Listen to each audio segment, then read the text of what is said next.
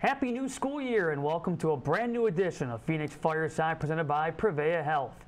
Matt Menzl alongside the Director of Athletics, Mary Ellen Gillespie, and uh, welcome back. Welcome to a brand new school year. Thanks, Matt. Welcome back to you too. Good yeah. to see you. Exciting times here on campus, but I know one question you probably get asked a lot. What happens here on campus? Students are gone, but over the summertime, what happens here?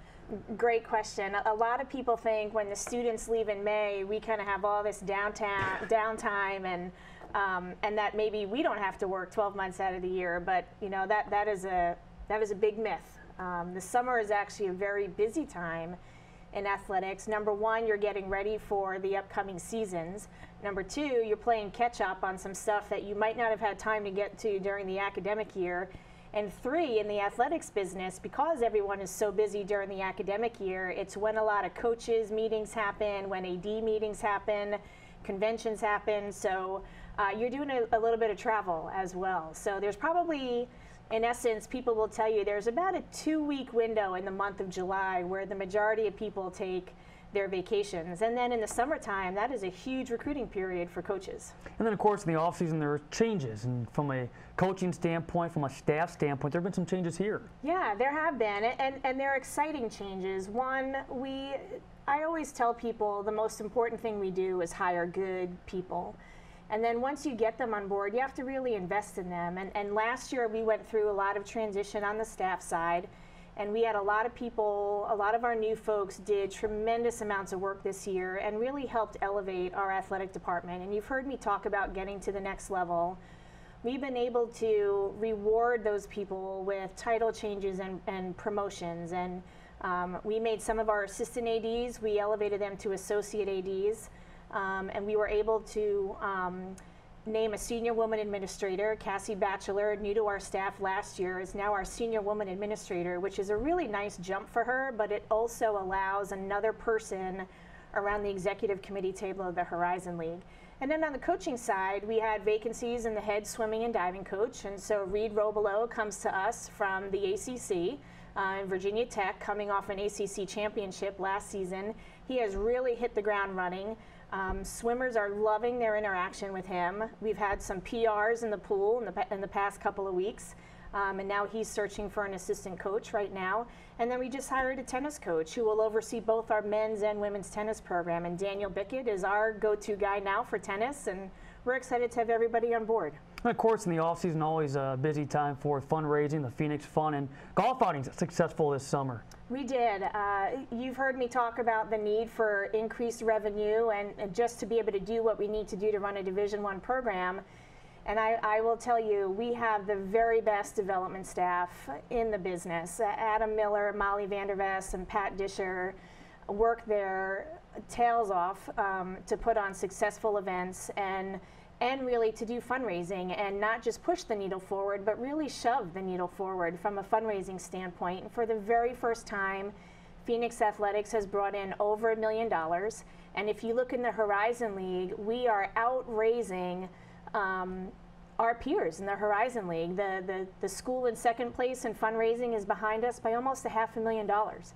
Um, so kudos to our development staff. And then our golf outings they don't happen without the involvement of the community and our fast break club and um, some of the local folks who helped make the men's basketball outing happen and the tailor-made golf outing they, they were home runs this year or slam dunks i should say and um, you know they, they will help elevate our department and be able to provide resources for student athletes and speaking of Slamma Jammas, Adidas, the new apparel provider of Phoenix Athletics. Yes, something we are incredibly proud of. And not just because it helps with a branding and image and consistency across the board for all 16 teams, but we're going to be able to do um, outfit 16 teams that we have not always been able to do. For example, we've never been able to provide a cross country team with running shoes. Well, well, that's what that's what they're here to do in mm-hmm. addition mm -hmm. to getting their degree and now we get to put them in running shoes and more than just one pair because we know the mileage they're putting on them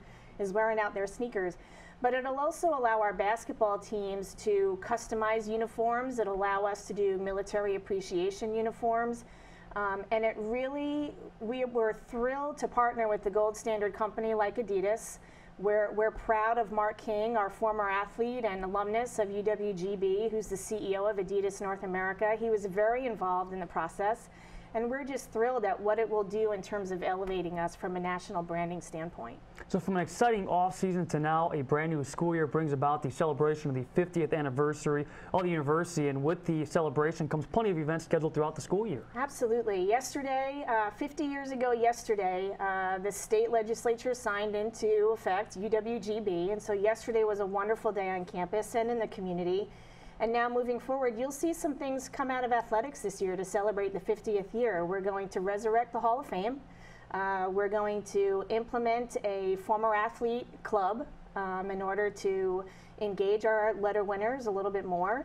Um, we're going to have a varsity athletics weekend in February, and, and those events, those details will come out in the coming weeks once we get our schedules finalized. Uh, you'll find us highlighting 50 top moments of Phoenix athletics probably once a week, but throughout the year you'll definitely see that. Um, and just another way to engage alums, former athletes, and the community in the celebration and looking forward to the next 50 years as well. As the school celebrates its 50th anniversary, fall sports off and running, but basketball, also the schedule is being announced and the men's basketball team will embark on its 48th season of existence coming up on November 13th at Stanford. The home opener coming away on November 22nd against Minnesota Duluth. On the women's side, they get things started at home on the 13th of November against the Marquette Golden Eagles. Exciting time for both the men's and women's teams as far as the schedules go. It is. We're very excited, and I have to really give kudos to the coaching staffs. And, and Megan Vogel is just a whiz at scheduling. And, and scheduling, the topic of scheduling alone could be a standalone Phoenix Fireside conversation. Um, she is just so good at it and, and is very visual in, in what we're going to look like over the course of the next three, four years with women's basketball scheduling. And then Randall Herbst and Craig Sandlin on our staff, who kind of um, those two had to jump in with the coaching transition. We really had an empty slate in terms of what the schedule looked like. And so they were able to work together really closely this year and, and kind of fill in the puzzle pieces um, in terms of the schedule. And so we're, we're thrilled that we're finishing up the season. The last five games are at home.